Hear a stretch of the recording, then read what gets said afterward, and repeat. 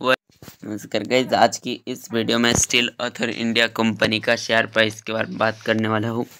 कौन कौन सी level target को कौन कौन सी सपोर्ट रेजिस्टेंस को फॉलो करना चाहिए अगला?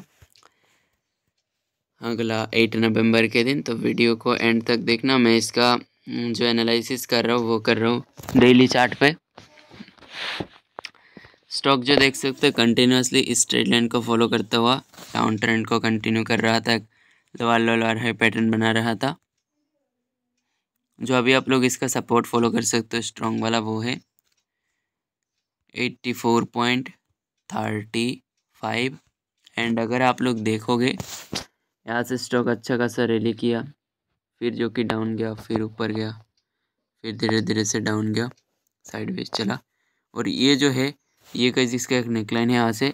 इस कैंडल ने भी देख सकते हो, काफ़ी स्ट्रॉन्ग रिवर्सल दिखाया है। एक हैमर ही बनता हुआ देखने को मिल रहा है। यहाँ से स्टॉक जो है गई वह एक अप ट्रेंड को आगे कंटिन्यू कर सकता क्योंकि ब्रेकआउट के बाद ये टेस्ट भी हो चुका है। तो सपोर्ट मैंने दे दिया है, पहला रेजिस्टेंस रहेगा इसका भी एट्टी सेवन पॉइंट फिफ्टी अगला होगा नाइन्टी नाइन्टी पॉइंट फिफ्टी तो लेवल पे फॉलो करना, मुझसे कांटेक्ट करना चाहो तो गई चैनल का अबाउट पे कांटेक्ट है, वहाँ से मुझसे इजीली कांटेक्ट कर सकते हो।